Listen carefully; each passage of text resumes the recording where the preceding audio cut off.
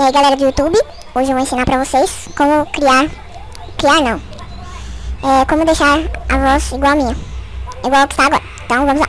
Primeiro abre seu Camtasia Studio 6, aqui, vem em Porta Media Files, abre qualquer é, coisa que você fez.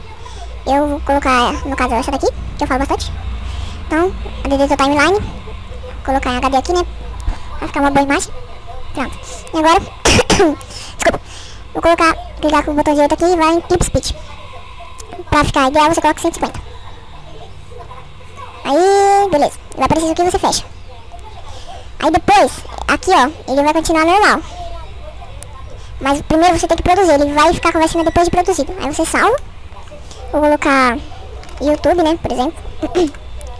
e concluir. Aí vai renderizar. Enquanto isso, isso eu aprendo a pausar isso aqui.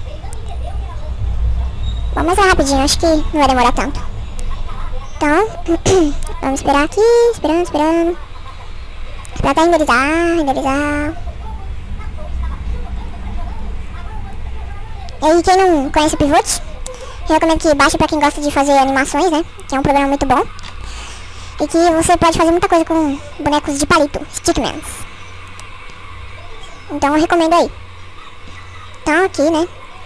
Vai acabando nosso, nossa renderização. Vamos esperar aqui pronto. Vou ver como ficou.